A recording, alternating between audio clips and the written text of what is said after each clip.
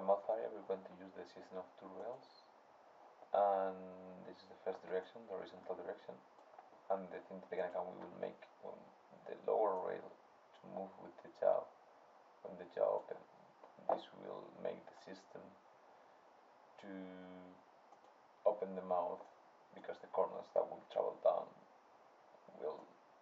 when we move the jaw down the curves will be moving so to keep going on this demo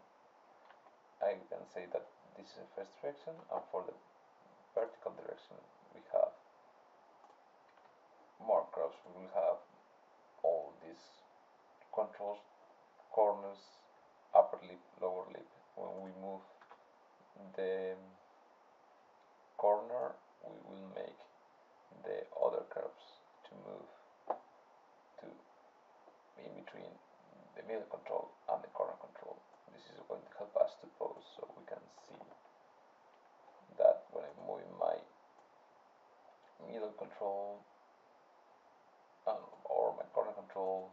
the in-between controls are reacting to that motion. So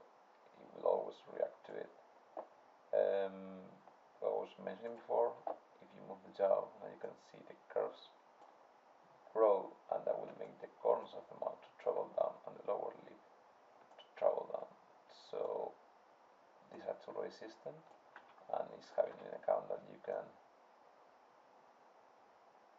have in-betweens we will explain now the deformation part of the rig so we will have the deformation curve that there are four so the reason to have four is because we don't want the left side to affect the right side or opposite. And on top of that we will have joints. There will be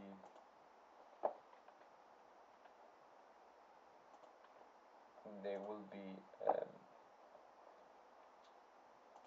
joints for the middle of the lip and joints for the out, outside of the lip. The reason for that is we want to have these joints aiming or rotating where we want this one to be also in the, in the same direction. We, we would like to move the geometry around here in a linear way, not rotating but just the border of the lip rotating. That's why we have the lip and layer one outer that will be more linear. So these joints don't rotate and this is allowing us to have really streams and go from really wide to more tiny and all the way through and be able to save them. Any way we want um, just to remind this is using the auto tangent system in all the curves so you don't have to keep worrying about points separating or having 20 meter tangents. We just need to pose